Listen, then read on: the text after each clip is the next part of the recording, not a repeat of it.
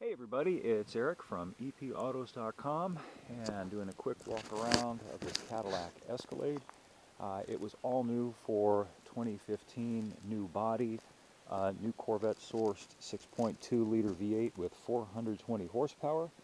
Uh, the 16 will be mostly a carryover, but there are some changes that are worth pointing out.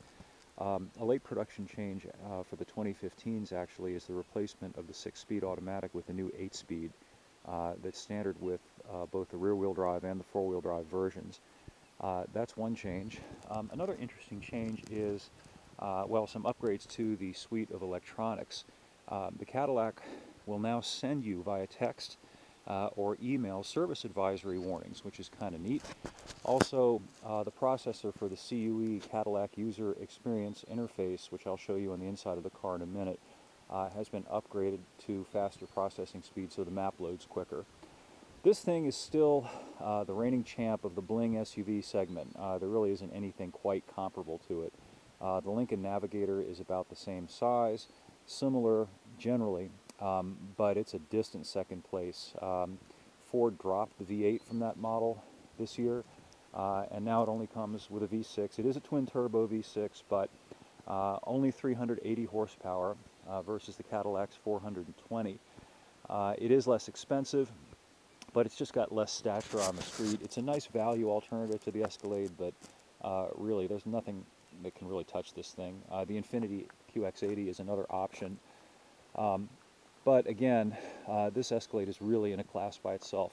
Uh, this particular one is a platinum model, so it's got everything and it's nearly $100,000. Uh, something also that it has are these monstrous 22-inch wheels. They're actually standard on uh, the limited and up trims. Um, the low trim base model, low trim if you can describe a vehicle that's nearly $70,000 in base trim uh, as base, comes with 20s.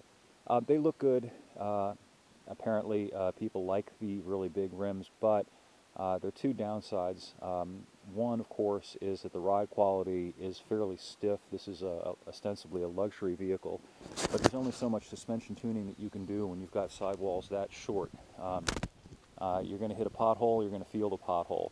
The other thing is that though this is an SUV uh, and it's available with a four-wheel drive system, uh, those 22-inch wheels and the tires that are on it are really just not the ticket for poor weather driving. So if you're thinking about getting one of these things with the idea that you're going to drive it in the snow, uh, you might want to think again. Uh, or at least get the 20-inch wheels and maybe get some tires for it that are um, a little bit more all-seasony than these. Uh, let's take a look at the inside of this Platinum, and I'll show you some of the features. Note also it's got these fold-out running boards. The Navigator has that too. Now I'm six feet three, so I don't particularly like these things because for me it's an impediment. I can just kind of go in, but for people, especially uh, smaller statured women or older people, they're handy. And I'm pretty sure that you can program these things to, um, to not deploy if you don't want them. All right, let's have a look at the inside. And you'll see, by the way, people criticize this Escalade uh, as being just a tarted up and very expensive Tahoe. But yeah, they really did tart it up a lot, so you can't really fault it. You got this nice suede velour inserts here. Nice leather everywhere. Really nicely done. It doesn't look like they just slapped it together. In here is flat screen. Check that out. That's the CUE, Cadillac User Interface. Everything's flat screen. It has this um, microwave oven style dash pad that's called, they call it haptic. It's a, a finger swipe and tap, and as you, as you move it, you can actually get some, you'll get you'll get physical tactile feedback through your finger. You'll feel it like a little pushback or a sensation that you've done something. Of course, it's got fully automatic keyless ignition. Start that up. You've got a configurable instrument cluster. You can alter the look of that um, to suit. Uh, this uh, CUE screen here also is the main interface for dialing up everything from the, uh, let's get the uh, home back on, uh, everything from the audio system, phone, navigation, video. This one has the rear seat DVD entertainment system in the back, which I can't really get the angle on right now, but it's back there. Also some cool features. If you look here, that little button right there is the uh, cooler for your beverage holder. So if you put your bottle of um, whatever beverage it is here and push that button, it'll keep it cool. You've got two USB ports, not just one. That's kind of nice. Then in the center console here, you've got a refrigerated cubby as well. So you can put more beverages. Also, you've got more USB ports. So that's two USB ports, uh, four total USB ports, and here's a little pad for your cell phone also, uh, which is pretty nice. It's got this little plastic grip thing on it. Um, put, put this stuff down, and I'll take you in the back and see if we can see some of the other stuff back there. Ah! Uh, something else that's noteworthy to point out about the Escalade is that you can get it in a uh, longer stretch version. They call it the ESV. Lincoln offers that too, of course. The Infiniti QX only comes in one size.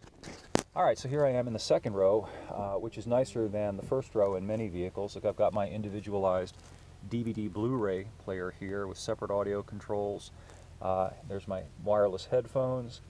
I've got my separate climate control here with seats, with heaters. Uh, again, all kind of a microwave oven style touchscreen. Um, got this nice open area here, which would be ideal to put uh, a cooler. Uh, and even the third row is not half bad. The third row in this thing is better than the second row uh, in some crossover SUVs. Um, decent room back there. The, uh, the chief deficit, uh, and this is just a common thing, uh, with vehicles of this design type, meaning rear-wheel drive based SUVs, you'll notice that the floor kind of humps up as you get there, and that's because right about here, that's where the rear axle is, the, the longitudinal rear axle, and so the floor has to go up to accommodate the axle, and that means when you're sitting in those back seats, your, um, your legs are kind of be a little bit higher up.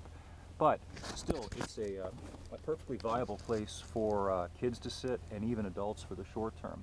Uh, so you've got tons of room in this thing, which you'd expect to find in something this big. Anyway, um, the rest of the review will be up at epautos.com shortly. Uh, thanks for viewing, and we'll catch up with you next